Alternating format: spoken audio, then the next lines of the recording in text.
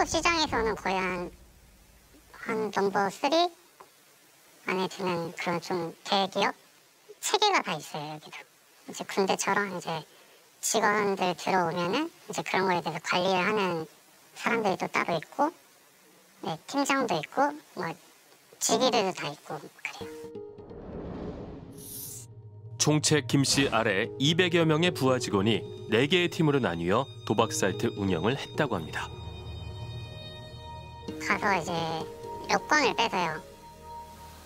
요건을 왜 뺐어요? 도망가지 말라고. 이제 한국에서 뭘 했는지도 서로 거의 다 몰랐고요. 가명으로 정해져서 그걸로 일을 계속했었어요. 일하러 필리핀에 온 신입 직원들은 도착하자마자 여권을 압수당했다고 합니다. 직원들의 휴대폰도 일일이 검열, 문제가 되는 내용은 삭제했습니다. 경찰한테 잡히거나 뭐 그런 게 있으면 뭐 어학연수나 뭐 이런 걸로 뭐 공부하러 왔다 아니면 카지노 뭐 도박하러 왔다 이런 식으로 얘기를 해라 경찰에 잡혔을 경우를 대비해 묵비권을 행사하고 휴대폰 비밀번호를 어렵게 설정하라는 등의 구체적인 교육도 시켰습니다.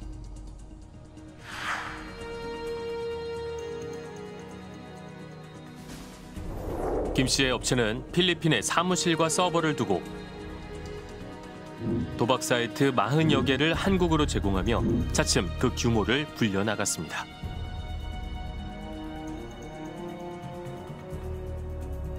김 씨의 업체가 있었다던 대형 건물. 그 내부는 어떨까? 보안이 철저해 보입니다.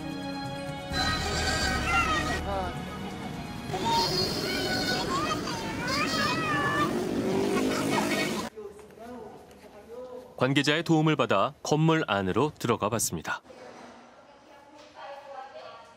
실제 김 씨의 조직이 도박 사이트를 운영했다는 사무실. 팀마다 방을 나누어 사용했다고 합니다. 겉으로만 봐서는 여느 회사의 사무실 모습과 별반 달라 보이지 않습니다.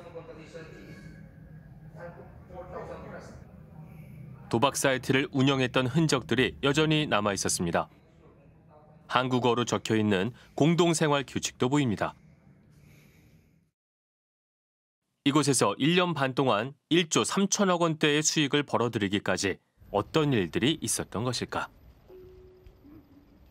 물론 사이트도 운영을 했습니다. 사이트도 운영을 했고 어, 비중이 사이트 쪽으로는 약 35%, 30% 나머지는 그 재테크 해준다는 그런 식으로 해가지고 회원들한테 사기를 친 거죠. 거의 보, 보이스피싱이라고 생각을 하시면 될 것 같습니다. 이게 처음에는 안 그랬어요.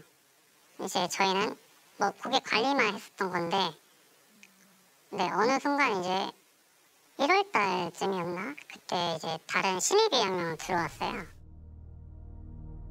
한 신입 직원의 등장으로 김씨 조직의 사이트 운영 방향이 바뀌게 됐다고 합니다. 신입이 재테크식으로 사람들을 꼬시더라고요. 하루에 뭐 300% 보장해 줄 수 있다. 전화로도 이제 통화를 하고 하면서 이제 무조건 수익 나는데 왜 안 하시냐. 약간 이런 식으로 해서 그 유명인들을 누가 들어도 아 이 사람 알겠구나 하라는 그런 유명인들의 그 이름을 대가면서 반응해가지고 연락하는 사람들을 통해서 회원 가입이나 이제 설명을 해가지고 회원 가입이나 이런 걸 시켰고요. 검찰의 공소장에 따르면 유명인에 대한 가짜 뉴스나 투자 수익률에 관한 자극적인 문자를 무작위로 대량 발송했습니다.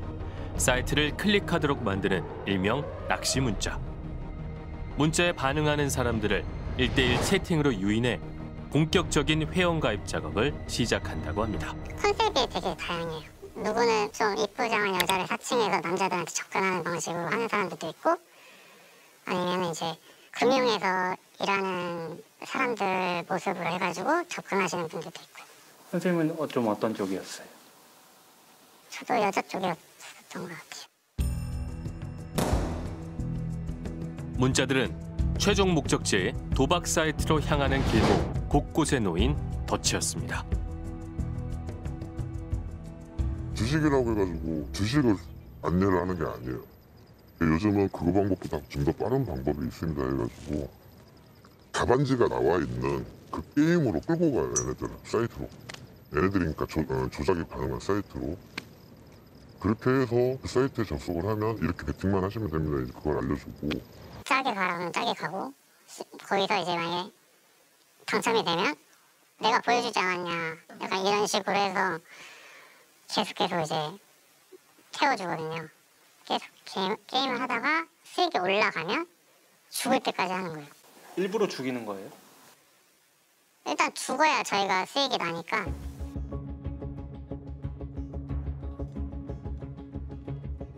게임으로 유도해 초반에 수익을 얻게 한 뒤에 점점 더 게임에 빠져들게 합니다. 거액의 돈을 입금했을 때 재테크팀은 조작을 통해 회원들의 돈을 빼앗았고 다른 팀보다 수익이 월등히 높았다고 합니다.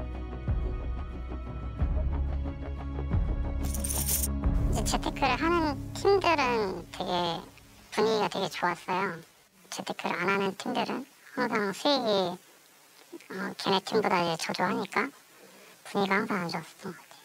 나가는 돈이 없는 거죠 들어, 들어오면 내가 일부러 주지 않을, 주지 않는 이상은 나갈 일이 없는 거예요 그러니까 당연히 수익률은 올 100%죠